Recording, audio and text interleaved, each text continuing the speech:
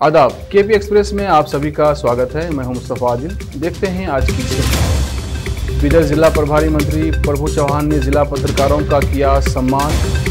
कर्नाटक में एक बच्चे में मिला कोविड का अनूठा मामला।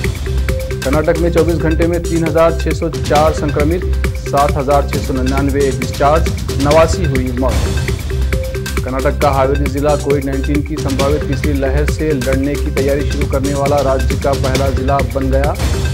जम्मू। एयरबेस के बाद आर्मी कैंप पर ड्रोन हमले की साजिश रात में दिखी लाल रंग की रोशनी। भारत ने बनाया वैक्सीनेशन का वर्ल्ड रिकॉर्ड, अमेरिका को भी कर दिया पीछे। अब विधायक और सांसद नहीं बन सकेंगे शहरी सहकारी बैंकों के एमडी, आरबीआई ने लगाई रोक।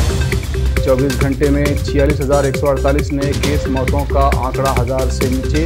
वैक्सीनेशन का हुआ वर्ल्ड रिकॉर्ड। 9 से 13 जुलाई के बीच आरएसएस की होगी बड़ी बैठक। सुप्रीम कोर्ट ने कोरोना से जान गंवाने वाले वकीलों के लिए दो मिनट का किया मौन। सीजेआई ने व्यक्त की संवेदना।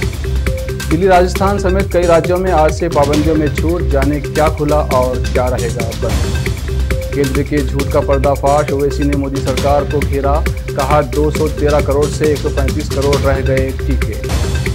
बर्फानी बाबा अमरनाथ के ऑनलाइन दर्शन शुरू। जम्मू कश्मीर के उपराज्यपाल ने की पूजा। आज से खुला उज्जैन का महाकालेश्वर मंदिर। ट्विटर ने एक घंटे के लिए आईटी मिनिस्टर रविशंकर प्रसाद के अकाउंट को किया ब्लॉक कांग्रेस नेता सिद्धरामैया ने कहा, मुझे मुख्यमंत्री के चेहरे के तौर पर पेश न करें विधायक। कश्मीर मुद्दे को लेकर महबूबा मुफ्ती के बयानों पर भड़का मुस्लिम राष्ट्रीय मंच। छः दिनों में मलेशिया, सऊदी अरब और कनाडा से भी ज़्यादा हुआ भारत में वैक्सीनेशन के एक्सप्रेस में इतना ही। देश और दुनिया के समाचारों के लिए देखते रहिए K P news twenty four into seven धन्यवाद।